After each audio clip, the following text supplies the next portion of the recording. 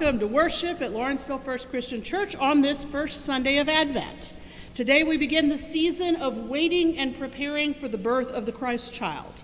So whether you're joining us in the sanctuary, here in the sanctuary, whether you're joining us online, or whether you're watching this service later in the week, it's wonderful to have the opportunity to gather together to worship God.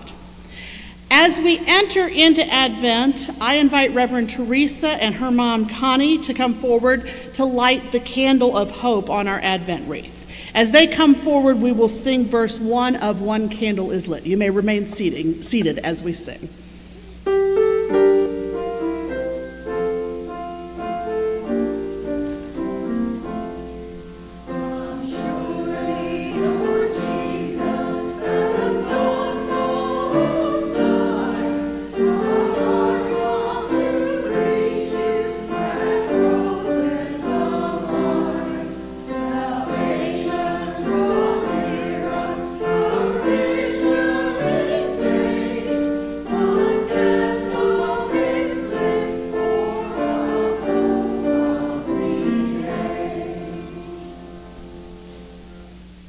Today marks the beginning of the Advent, which is the period of preparation to help Christians prepare for the anniversary of the birth of the Christ child. The first Advent candle represents hope, and we light the candle of hope. Hear these words from Luke chapter 12, verse 37. Blessed are those servants whom the master finds alert when he comes.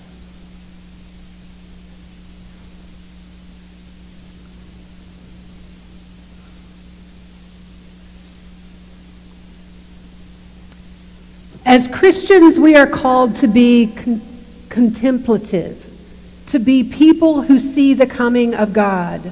The day of the Lord is also coming. It is not a coming that will happen in some distant future, but a coming here and now among us. The Lord's coming is an ongoing event around us, between us and within us. And knowing this truth fills us with hope. To become contemplative means to take off the blindfolds that prevent us from seeing the coming of God in Jesus in the midst of our world and prevent us from hearing his invitation to purify our hearts so that we might indeed recognize him as our Lord. Let us pray. God, you call us always and everywhere into your revealing light. Help us to see you, to know you, to love you, and to imitate you in our lives. Fill us with hope in this time of waiting. Amen.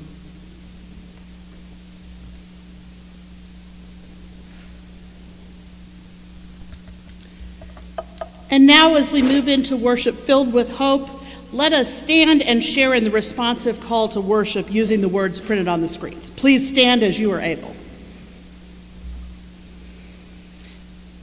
Awake, people of God, and stay alert for Christ's coming. Grace to you and peace from God who sent Jesus to us. Make, Make your, your ways known to us, O God. Show us once more your awesome presence. We are all God's people, no one is excluded. Come together as God's family for worship and prayer. Let, Let the, mountains awake before you, mighty God. God. Let the nations tremble in awe and reverence. Praise the one who grants us the gift of life. Give thanks for God's continuing faithfulness. Heaven and earth will pass away, but the word of God is true for all times and places. And if you would please join in lifting our voices in praise from the Red Chalice hymnal. The first will be O Come, O Come, Emmanuel. We will sing all verses. Música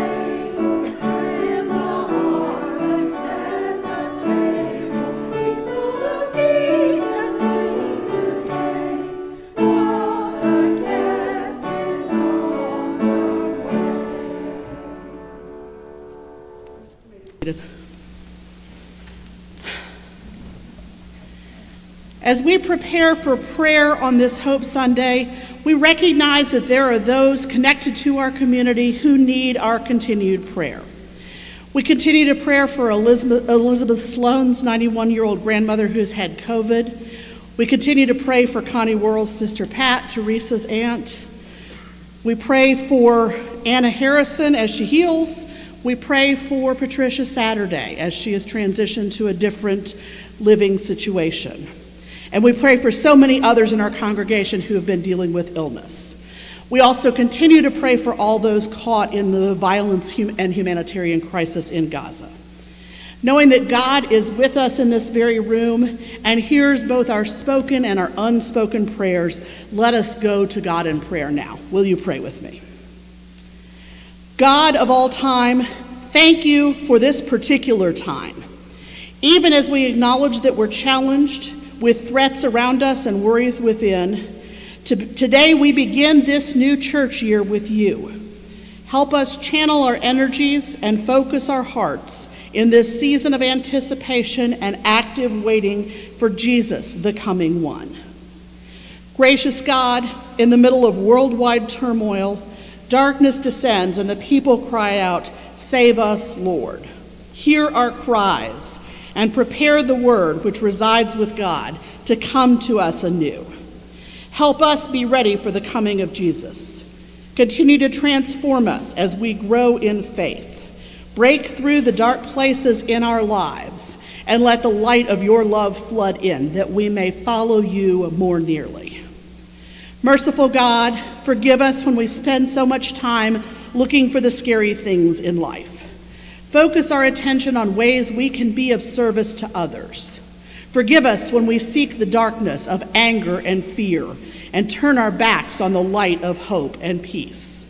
Help us recognize and appreciate the many ways in which you enrich our lives as we celebrate the beginning of the season of Advent, the coming of the Holy One. Be with our families, friends, and neighbors who suffer from illness, sorrow, alienation, marginalization, abuse, or fear. Be with all those who find the holiday season challenging or stressful or lonely. Bring healing and peace to their lives and their souls. Be with our families, friends, and neighbors who are experiencing great joy and happiness. May their spirits rejoice in all these good moments and in your great gifts. We offer this prayer in the name of your Son Jesus the Christ, who taught us to pray by saying, Our Father, who art in heaven, hallowed be thy name. Thy kingdom come, thy will be done, on earth as it is in heaven. Give us this day our daily bread, and forgive us our trespasses, as we forgive those who trespass against us. And lead us not into temptation, but deliver us from evil. For thine is the kingdom and the power and the glory forever. Amen.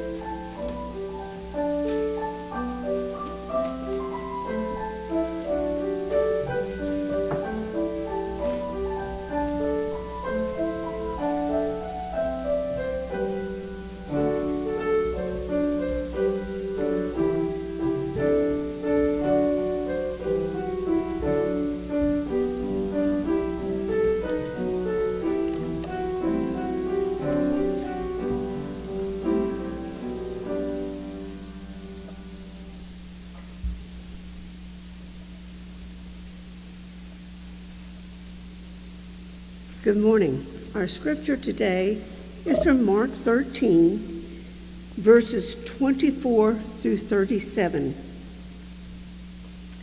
But in those days, after the tribulation, the sun will be darkened, and the moon will not give its light. The stars of heaven will fall, and the powers in the heavens will be shaken. Then they will see the Son of Man coming in the clouds with great power and glory.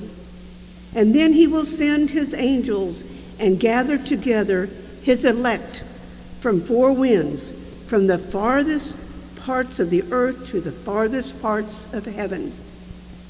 Now learn this parable from the fig tree. When its branches has already become tender and put forth leaves, you know that summer is near. So you also, when you see these things happening, know that it is near at the doors.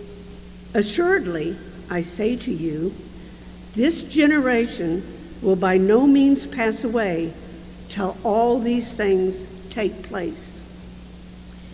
Heaven and earth will pass away, but my words will by no means pass away. But of that day and hour, no one knows, not even the angels in heaven, nor the Son, but only the Father. Take heed, watch and pray, for you do not know when that time is. If it is like a man going to a far country, who left his house and gave authority to his servants, and to each his work, commanded the doorkeeper to watch.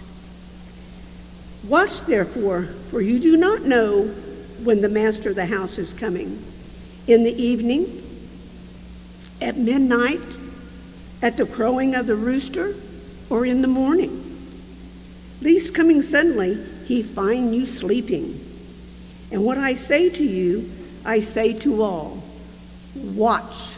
This is the word of God for the people of God.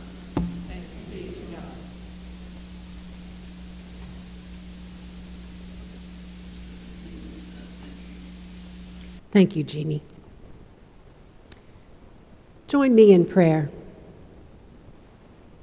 May the words of my mouth and the meditation of all our hearts be acceptable to you, O God, our rock and our Redeemer.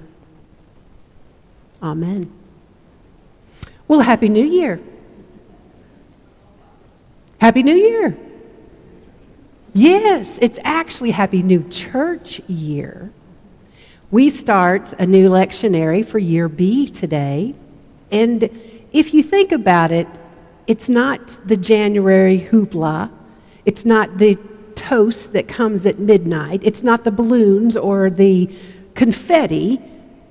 But it's still significant in the life of the church.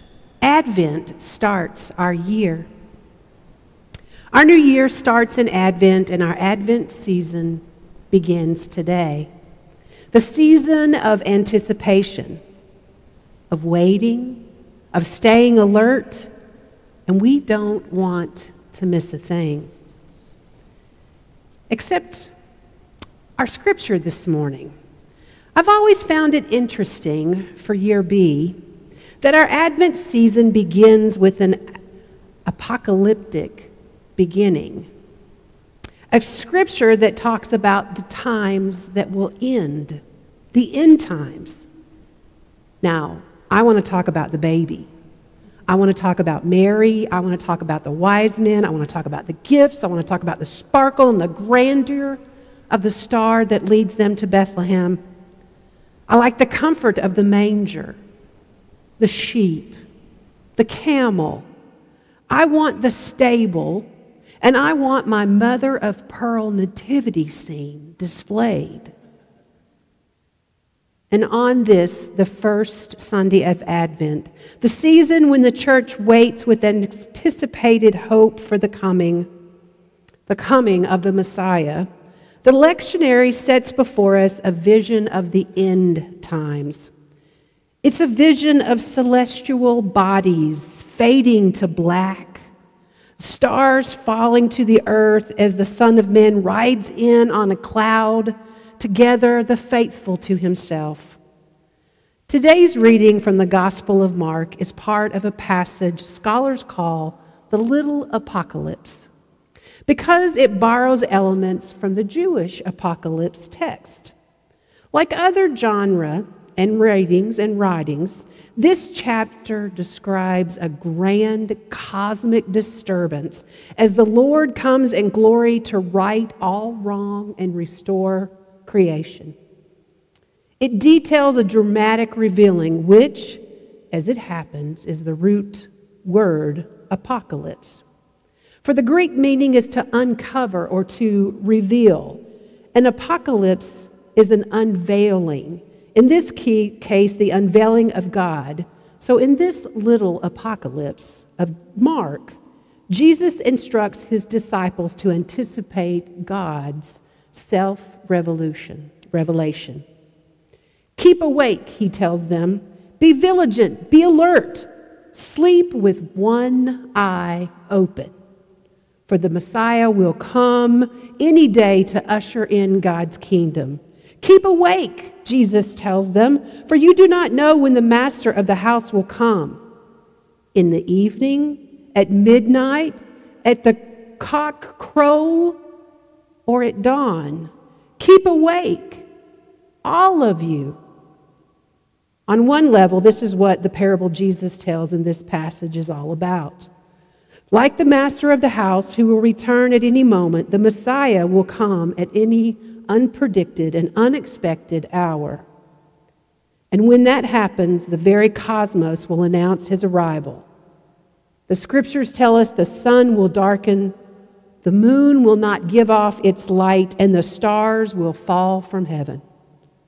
On one level, the vision Jesus sets before his disciples is precisely the apocalyptic events we'd expect of the last days when the Messiah finally returns and ushers in God's reign.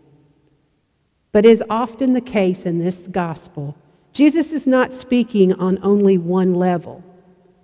There's more than just a parable here. That much becomes clear as the story unfolds. You see, in the next chapter of Mark's gospel, Jesus and his disciples gather at sundown to celebrate the Passover. And then Jesus leads them to the Garden of Gethsemane, where he repeats a phrase he's uttered only two days before. He says, Keep awake.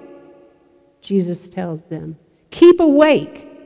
But this time, the disciples need not wait to see if the Master will come in the evening, at midnight, at cock crow or dawn. For the hour has come for the Son of Man to be revealed. And the unveiling Jesus describes in the little apocalypse comes to pass. Not in some future disastrous event, but surprisingly, no, shocking, shockingly, in the imminent reality of Jesus' suffering and death. Great story for Advent, right? At the hours tick by, Jesus moves closer to the cross.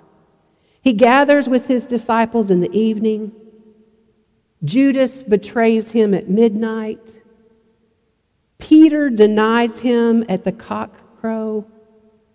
And Pilate sentenced him to death at dawn. And those who are awake those who are watching for the evening, for the Master, midnight or dawn, will see that the hour has come. God's apocalypse is at hand, just not in the manner we expect. The moment when the sun fades to black and the sky grows dark is not when the Son of Man ride, rides in on the clouds, but when the Son of Man cries out from the Roman cross. It is not a grand exhibit of power and glory, but a pitiful display of weakness and defeat. At least that's how it looks at the moment, but not in reality. God's apocalypse bears no resemblance to the vision outlined in today's reading. And yet it still is unveiling, quite literally, in fact. The curtain hiding the holiest place is ripped from the top to the bottom. God's presence is revealed. According to Mark, this is the moment vigilant disciples have watched and waited for. It has come not at the end of time, but on the cross, right there in some God forsaken place on the outskirts of town. In a place no one would think to search for God. You see, God has come in the small, broken figure of Jesus on the cross. God is at work, rendering to pieces all that would separate us from God. This seems like an excellent message for Lent, for the season when we journey with Jesus towards Calvary, preparing ourselves with every step to comfort the cross. But what's it doing in Advent? Especially this Advent, when all we want to do is go to Bethlehem. We only wish to kneel before the manger to cradle Jesus in our arms and hold tightly to the hope, peace, joy, and love he brings. What does the apocalypse of God at the cross have to do with the advent of God's stable? Only this that God has a habit of showing up when we're not on the lookout. When we're not waiting at the door, watching from dusk till dawn for the Master to come, God has a habit of surprising us and surprising us with good news. Just as God surprised an unwed teenager in a podunk town who, for all we know, was hanging out laundry when an angel appeared to her just as God promised shepherds on the outskirts of Bethlehem who were watching their flocks, not watching the skies. God has a habit of coming in ways that the world would deem small and insignificant.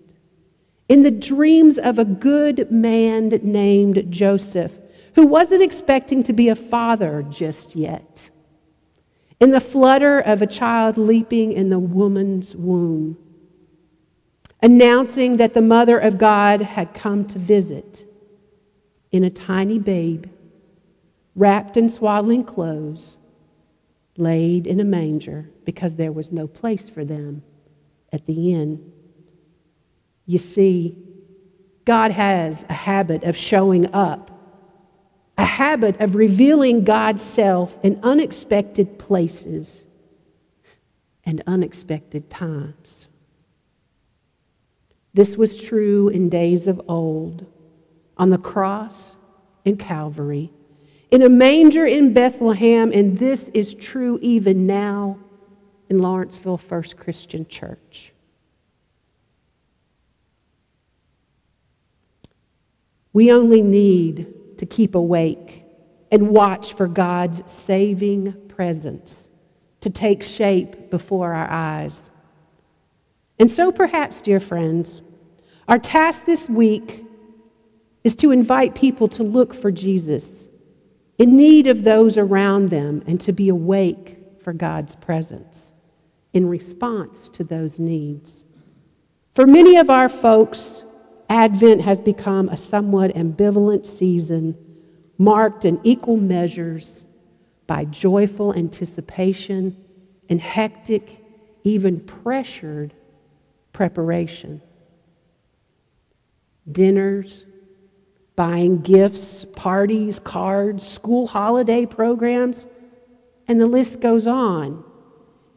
Each and all of it can be wonderful. Don't get me wrong. And yet, and all of it can become somewhat overwhelming. And so perhaps we might invite folks to have a short list, rather, a list that's small, takes up half a page of paper. A list of a few things that will occupy your Advent, and then to think about how, in each of those events and activities, you might be attentive to the vulnerable, to the needs around them, and more honest and open about the, uh, your own needs that must receive the care of others. Perhaps in this way you will experience Jesus' coming and God's presence in our lives, even here, even now. In this way, discover, share, and actually participate in Jesus' advent among us all. Now, I take us back to the Advent wreath and the lighting that we did earlier this morning. So, as we begin the Advent season, what are you hoping for? When you think about God coming to us in the flesh, what is your Advent hope? And what will you do about it? This Advent, my first season here with you, I'm hopeful. Even if I still expect snow when the forecast calls for the usual Georgia weather at this season. I'm hopeful that Christ is continually born into our midst, continually reminding us that God is with us. I'm hopeful enough that I want to prepare my life and my heart again hopeful enough, I want to ensure that I'm going in God's direction, not the wrong way. And hopefully, and hopeful enough, instead of staying awake passively, I will wait actively, working to carry out the good news right now, because my hope is built on the faith in God's promise, which never disappoints us. We're waiting. Yes, I don't deny that. But with a thrill of hope in our hearts. Let's get to work while we wait. Amen.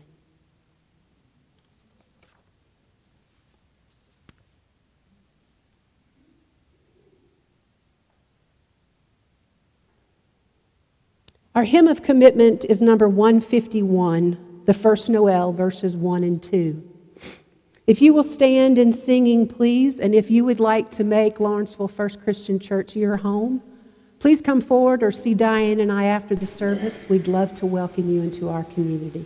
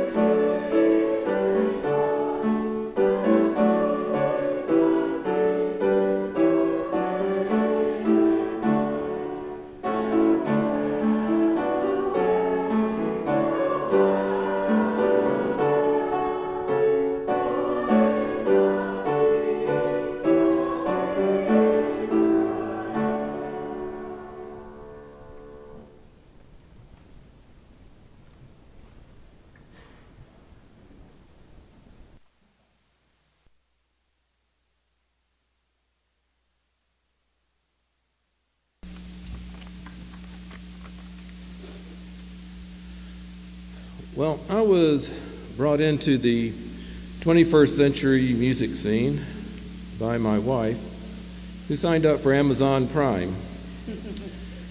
this was so she could order most of her Christmas gifts online, so uh, to avoid shopping um, or shipping charges. You can have Amazon Music play any song or artist or even music that sounds like an, uh, an artist's song. And that's how I first heard the Highwomen. It's a super group of female country music songwriters uh, led by Brandi Carlile. They're an eccentric group whose songs can be fairly irreverent to the country music genre. But one of their songs, which is about family and friends, speaks to me about this table and this house. The first two lines of the song goes, I want a house with a crowded table and a place by the fire for everyone.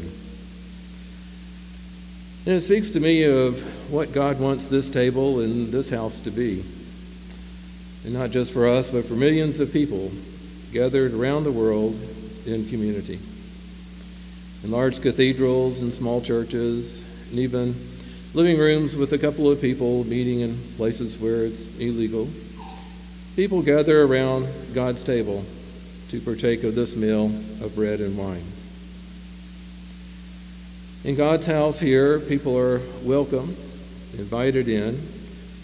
We enter, leave our troubles by the door in God's hands, and kick back on God's sofa in front of his fireplace.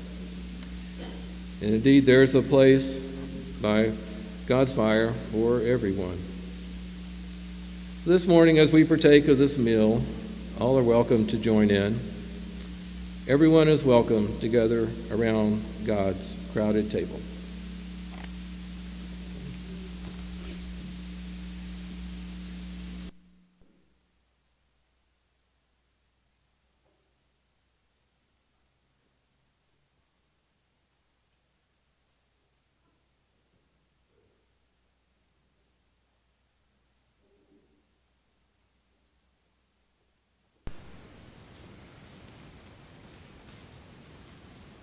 Would you pray with me? Heavenly Father, don't let us miss Jesus this Christmas season. May we simplify our lives and our activities so that we can focus on the celebration of his birth. We come to this table in adoration, praise, and thankfulness. Open our hearts and minds that we may hear the story anew. We thank you for the opportunity to come to your house to worship and the opportunity to take this communion freely each week. Lord, bless those who are hurting, hungry, sick, lost, those that are in danger or at war. Wrap your loving arms around this world and bring us peace. In your precious Son's name we pray.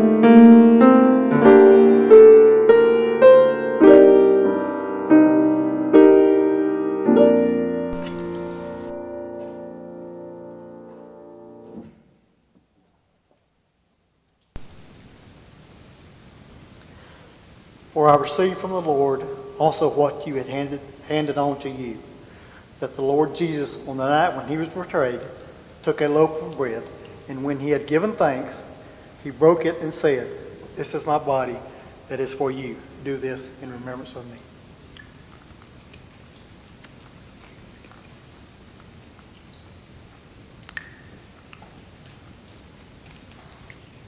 In the same way, he took the cup also after supper, saying, This cup is the new covenant in my blood.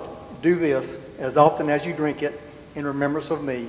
For as often as you eat this bread and drink this cup, you proclaim the Lord's death until he comes again.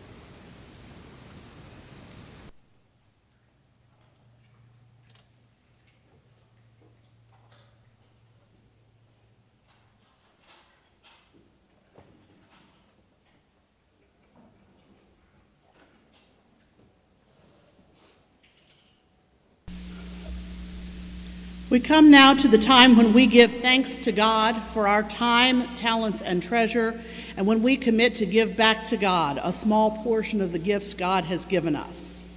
You have an opportunity to respond to God's grace through the morning offering. You can place your offering at the plate at the back of the sanctuary, give on the church website, or mail a check to the church. This morning, we also celebrate First Sunday Food, a time when we celebrate and dedicate all of the food offerings brought to the church over the past month. May these gifts of food provide nourishment, comfort, and strength for those who need them most. As we celebrate and dedicate our financial and food gifts, let us stand and sing the doxology together.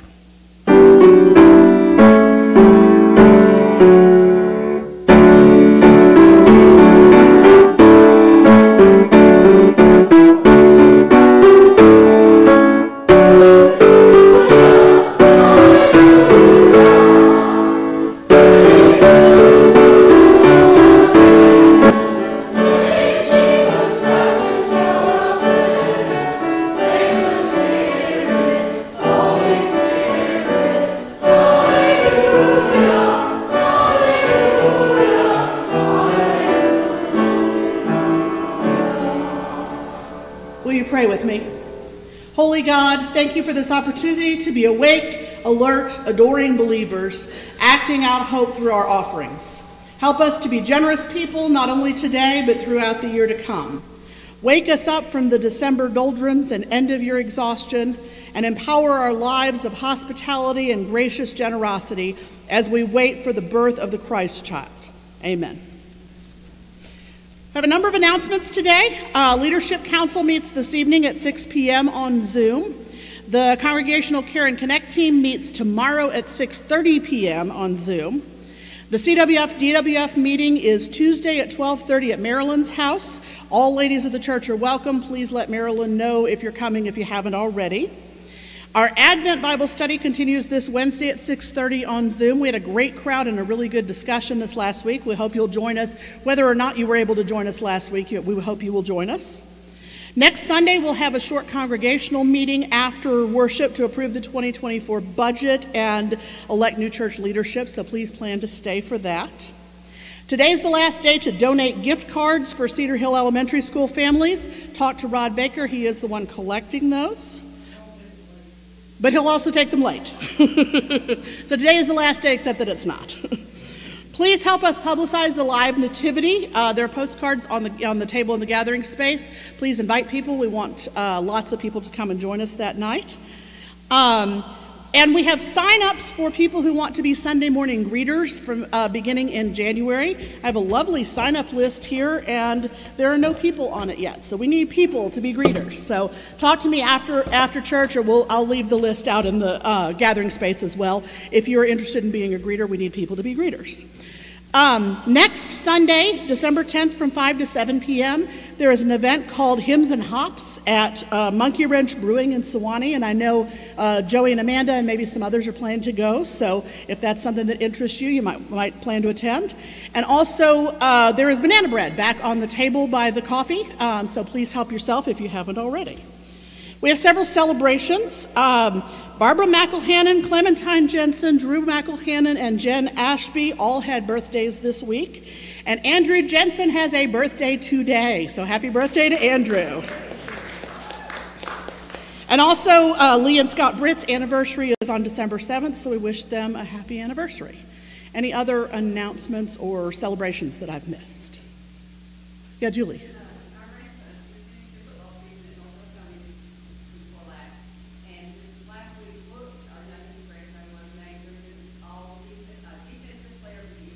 All right, so Brooks was, na- was named Defensive Player of the Year for, his for the region. So congratulations to him and to his, to his family and to his team. Any others? Any other announcements or good news?